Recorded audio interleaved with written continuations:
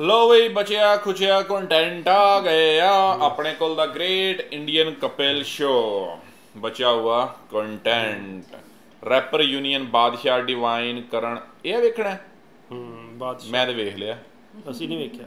ਨਹੀਂ ਵੇਖਿਆ? ਮੈਂ ਤੇ ਹੁਣ ਲੱਭ ਕੇ ਲਿਆ ਸੀ ਮੈਂ ਕਿਹਾ ਵੇਖਨੇ ਆ ਮੈਂ ਤੇ ਪੂਰਾ ਸ਼ੋਅ ਵੀ ਵੇਖ ਲਿਆ ਨੈਟਫਲਿਕਸ ਤੇ। ਬੜਾ ਵਧੀਆ ਮਤਲਬ ਬਹੁਤ ਮਜ਼ੇ ਦਾ। ਹੈ। ਚਲੋ ਵੇਖ ਲਓ ਤੁਸੀਂ ਨਹੀਂ ਵੇਖਿਆ ਤੁਹਾਨੂੰ ਵਿਖਾ ਦਿੰਨੇ ਆ। ਲੇਕਿਨ ਮੈਂ ਤੇ ਭਾਈ ਜੀ ਦੋ ਵਾਰੀ ਵੇਖ ਲਿਆ। ਯਾਨੀ ਬੜਾ ਅੱਛਾ। ਹੈ यानी कि बड़ा अच्छा मतलब मज़ेदार हम्म। बढ़िया। बजाओ भी कुछ। कमाल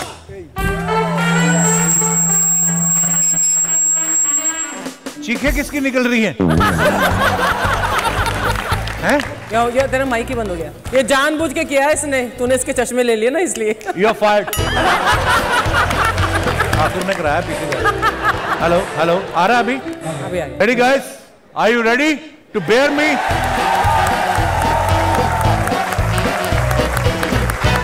देखो बादशाह पाजी बड़े पुराने मेरे दोस्त हैं। जब हमारा शो सिर्फ़ इंडियन टीवी पे आता था तब से हम जानते हैं। आज हमारा 192 कंट्रीज़ में आता है लेकिन मेरा भाई फिर भी मुझे नहीं भूला।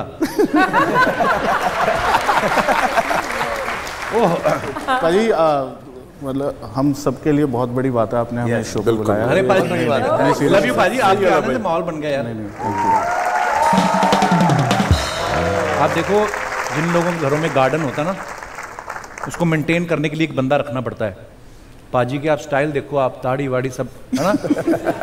500 गज की कोठी का जो गार्डन होता है ना उसको मेंटेन करने का जितना खर्चा आता है। ऑलमोस्ट आपका भी उतना ही आता है मैंने देखा है। भाई बंदा रखा है आपने कोई ये सब करने के लिए?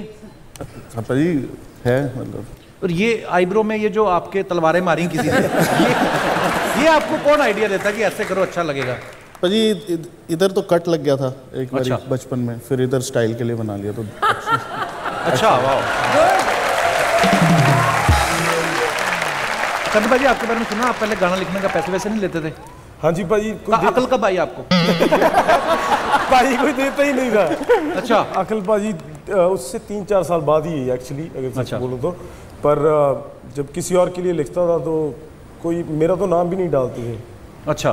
मेरे को तब पता चलता था जब- गाना आ जाता था मैं बोलता फिरता था कि हेलो मैंने लिखा है मैंने लिखा है। कोई मानता भी नहीं था। फिर उनको मैं दिखाता रहता था कि हेलो मेरा नाम देखो मेरा नाम देखो।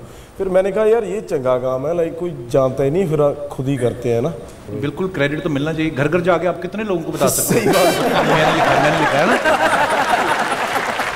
बहुत किया भाई। क्या बात है बहुत ऐसे ही। भाजी मतलब जितना मैं जानता हूँ आई थिंक मैं बहुत ब्लेस्ड हूँ कि मैंने करण के साथ काम किया और डिवाइन के साथ काम किया। और करण पाजी आ, जो करण की ज़िंदगी रही है बहुत स्ट्रगल से भरी रही है। पेरेंट्स नहीं है कनाडा गया यंग एज में और वहाँ पे अपनी लिए जगह बनाई। और भाजी गाने बेचता नहीं है क्योंकि इसके गाने खरीदने की ज़्यादा लोगों की औकात है नहीं।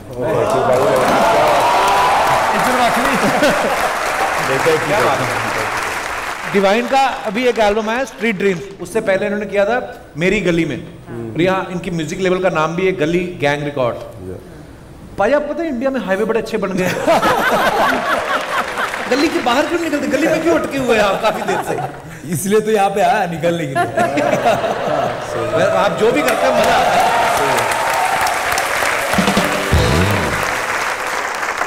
बादशाह भाजी जैसे रैप को इंट्रोड्यूस करने वाले हैं ना कि आप आपने रैप को अलग लेवल पे इंडिया में स्पेशली इंडिया में इतना पॉपुलर नहीं था। पर जब आपने शुरुआत की थी आपने अपने पेरेंट्स को बताया कि मैं रैप करूँगा उनको समझ में आ गया था कि क्या करने वाला है? भी कहानी भाजी एक्चुअली बिल्कुल ठीक कह रहे हो। मतलब मैंने उनको बताया कि मैंने रैप करना है। तो पहले तो उनको समझ ही नहीं आया कि क्या है। उनको उस टाइम तो थे ही नहीं। मतलब when we हाँ। कोई था ही नहीं। तो फिर मैंने बट मेरे से गलती होगी मैंने 50 सेंट का वीडियो दिखा दिया। कि मैं अब उन्हें दिखा रहा था मैंने करना क्या है? अच्छा। लेकिन वो देख रहे थे।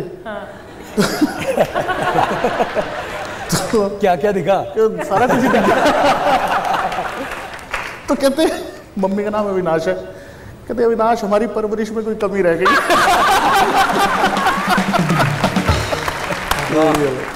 तो मुझे पता चला कि अ, इन्हें समझ नहीं आएगा तो फिर मैं पढ़ाई भी करता रहा और साथ में म्यूज़िक पे भी काम करता रहा।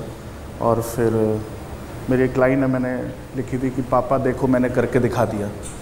आप रोकते थे मुझे रैप करने से मैंने पूरी दुनिया को सिखा दिया। जो जो लिखता था कभी कॉपियों के पीछे छुप छुप के वो पूरी दुनिया को पढ़ा दिया। दुनिया देखे जो मैंने करके दिखा दिया शब्दों को जोड़ा मैंने पैसा बना दिया. बादशाह पाजी की मुझे एक बार बड़ी लगती है। मैंने इनको कहा, मैंने बादशाह पाजी के साथ में गाना करते हैं। कहते, देखो। इन्होंने ये नहीं बोला मेरे को कि कौन सा गाना करना है, कैसा करना है। कहते, सबसे पहले तो एक बात बताओ गाना क्यों करना है? मैंने बात मैंने कहा भाजी देखो, ये बात ना, आप किसी से बाहर करना, ना मैं बात खत्म करते हैं। फिर मैंने पकड़ा गुरु रंधावे को। मैंने कहा, देख, पहले तो वादा कर, मेरे से कुछ पूछेगा नहीं। कहता, नहीं पूछा, मैं कहा, अपने को गाना करना है। फिर मैंने कर ही लिया।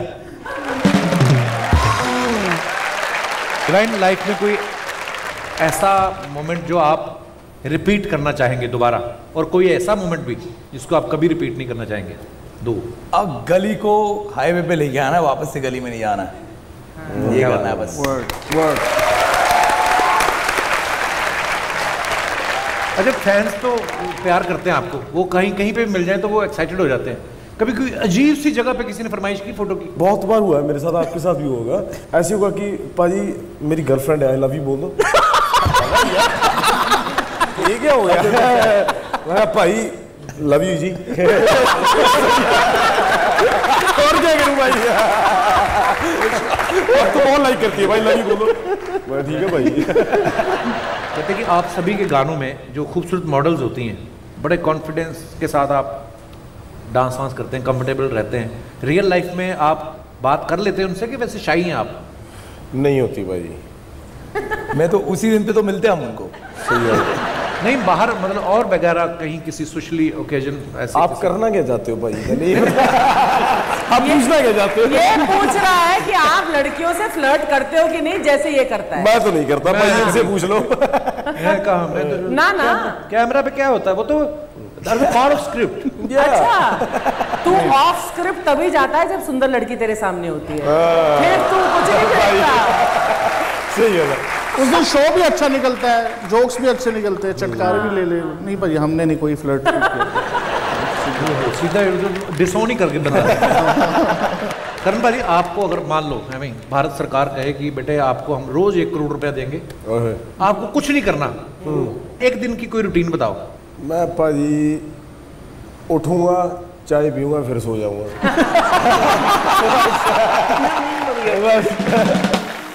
मुझे लग रहा तू उठेगा ही चाय पीने के लिए नहीं तो उठे बस हाँ भाई। चाय का करोड़ रुपया तो मिल गया भाई अच्छा आप बचपन में कभी ऐसे खेलते थे जैसे मैं मैं मेरे दोस्त दिनेश को पता है हम लोग खेलते थे कि यार मान ले यहाँ से दिल्ली जाना हो पैदल। कितने पैसे लेगा? ना मेरे पास है ना उसके पास। ऐसे खेलते थे। वो बोलता था अच्छा इतनी दूर पैदल। तो उस समय इतना सोचते भी नहीं था तो दो लाख। कहता लेकिन चप्पल नहीं होनी चाहिए पैर में। तो फिर ये एक आध लाख बढ़ा देता था, तीन लाख। अच्छा जाना नंगे हो गए ऐसी गेम खेली वैसे आपने कभी बचपन में? नहीं। शुरू से बादशाह वाले शौक थे आपने बादशाह बाजी करण बाजी डिवाइड आप सबने ना म्यूज़िक में तो आपने पूरा नेक्स्ट लेवल ले ही गए हो। लेकिन ये जो स्टाइलिंग है ना कपड़े वपड़े बाजी क्या आप देखो आप ये बड़े साइज़ के कपड़े पहन के निकलते भी है ना लोग मान भी जाते हैं कि इनके हैं। है ना? मेरे जैसा ऐसे खुले कपड़े पहन के लोग ओ डैडी के पहने हैं। लोग है ना बोल देते हैं लोग। ये दिनेश अपना भाजी अपना पुराना दोस्त है ऐसे सवाल बड़े पूछता है। हाँ जी। तो मेरे को बोल रहा था कि पाजी से पूछना सिर्फ़ कपड़े ही बड़े होते हैं कि जैसे अंडर वगैरह भी कच्चे यार ये इसकी क्यूरियोसिटी हर गलत जगह पे होती है। बड़ा तो काफ़ी मतलब दिल भी बहुत बड़ा है भाई तो। ये तो इसने तो अंडरवेयर भी तब से पहनना शुरू किया जब से नेटफ्लिक्स पे आए हैं। इसके पहले तो लाल रंग का। बेटे लॉजिक क्या है कि नेटफ्लिक्स पे आके अंडरवियर क्यों पहना बजट